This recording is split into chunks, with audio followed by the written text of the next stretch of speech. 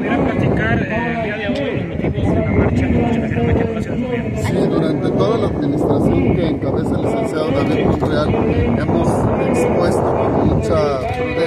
mucha racionalidad, una serie de solicitudes que tienen que ver con necesidades de carácter básico y que corresponden a acciones de las de siempre que hemos expuesto como movimiento. El día de hoy, eh, dándole continuidad a un petitorio que hemos presentado a finales del 2021 cuando llegó esta administración, en el 2022 a principios del año, en el 2023 y hoy de nueva cuenta en el 2024, vamos a entregar un documento que contiene Nadie puede acusar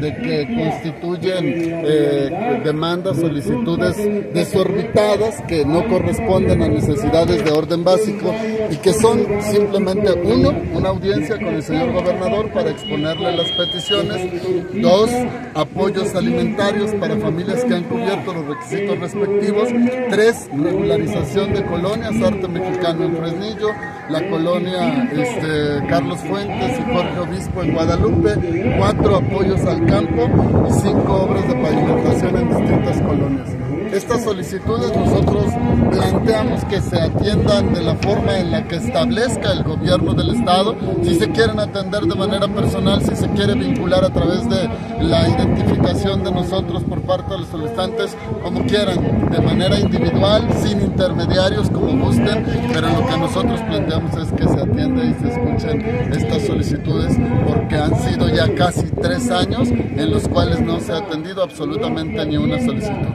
Posteriormente,